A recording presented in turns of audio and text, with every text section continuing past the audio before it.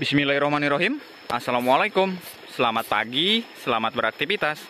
Hari ini hari Sabtu tanggal 8 Juli 2023 teman-teman.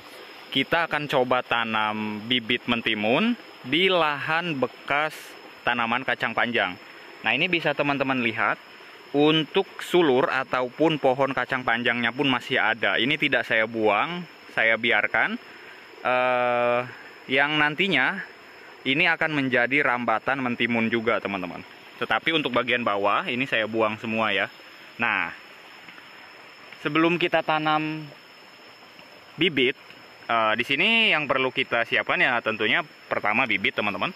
Nah untuk bibit di sini saya menggunakan dua jenis bibit uh, mentimun.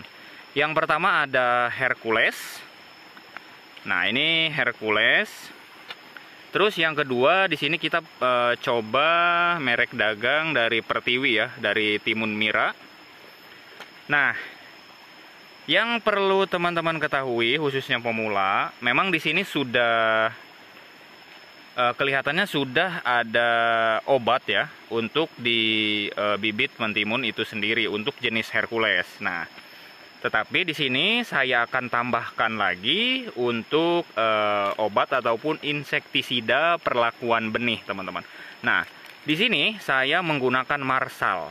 Nah, Marsal ini insektisida perlakuan benih, teman-teman. Jadi e, dia itu e, bisa melindungi benih ataupun bibit dari serangan serangga dan hama lainnya, teman-teman. Jadi sayang ya kalau kita menanam mentimun ternyata bibit ataupun bijinya itu dimakan uh, serangga ataupun uh, semut dan sejenisnya teman-teman. Jadi uh, alangkah baiknya kalau teman-teman ingin uh, menanam kita beri insektisida dulu teman-teman. Nah selain marsal teman-teman bisa menggunakan regen. Kita campur regen ya karena di sini saya berhubung uh, masih ada sisa marsal jadi kita campur dengan marsal. Nah ini untuk benih Hercules. Uh, satu saset seperti ini kurang lebih ada 800 butir teman-teman. 800 butir uh, dari keterangannya ini ya teman-teman ada 800 butir kurang lebihnya. Tapi saya tidak menghitung teman-teman. Nah setelah setelah kita Uh, nah ini teman-teman, ini untuk uh, benih mentimun dari Hercules. Nah sekarang tinggal kita tinggal kita campur dengan insektisida uh, merek dagang Marsal ya teman-teman. Ini berbentuk tepung ataupun bubuk ya teman-teman.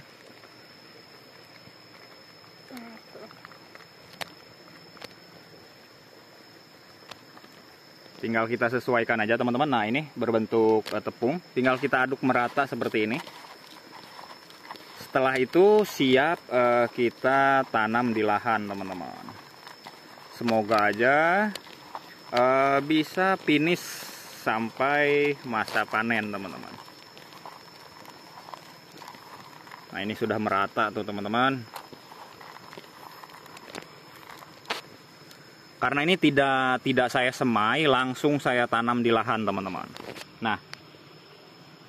Uh, sebelum kita tanam bibit di sini uh, saya memberikan uh, pupuk dasar teman-teman. Pupuk dasar di setiap lubang tanam. Nah apa saja jenis pupuk dasar? Karena saya beri pupuk dasar itu ini kan lahan bekas tanaman kacang panjang. Jadi otomatis tanahnya itu sudah tidak terlalu subur ya teman-teman. Jadi untuk pupuknya sudah habis. Saya beri pupuk susulan atau pupuk dasar di setiap lubang tanam teman-teman.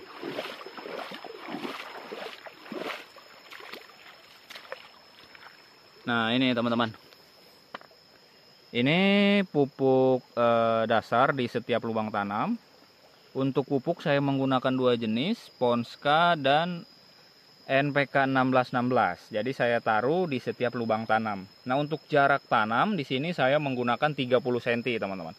30 cm kali kurang lebih 20 sampai 25. Jadi untuk memanjangnya 30, untuk eh, lebar ke samping 20 sampai 25. Nah, setelah ini nanti kita uh, tinggal tanam benih. Nah, itu sedang pemberian pupuk uh, di setiap lubang tanam. Nah, ini kita lanjut lagi ya, teman-teman. Setelah kita buat lubang tanam, kita masukkan uh, pupuk NPK 16 ataupun pupuk mutiara ditambah dengan Ponska di setiap lubang tanam. Nah, setelah pupuk e, ini kita masukkan ke lubang tanam, ini jangan langsung kita beri benih. Teman-teman bisa menutup sedikit e, menggunakan kotoran kambing yang sudah halus seperti ini. Kalau tidak ada, teman-teman bisa menggunakan tanah. Ya, menggunakan tanah biasa. Tutup seperti ini sedikit. Nah, kita tutup sedikit seperti ini.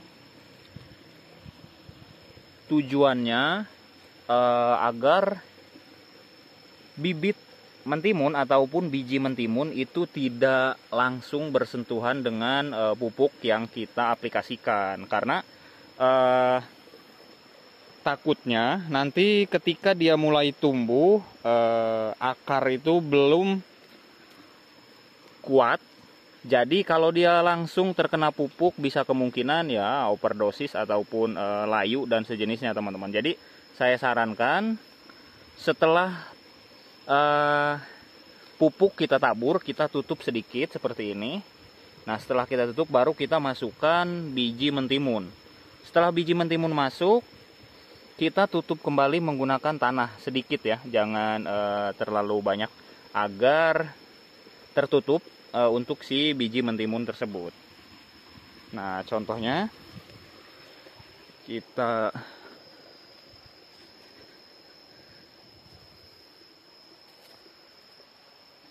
Nah ini teman-teman. Ini untuk e, pupuk mutiara ataupun NPK 16 sudah kita tutup menggunakan tanah sedikit lalu kita masukkan benih.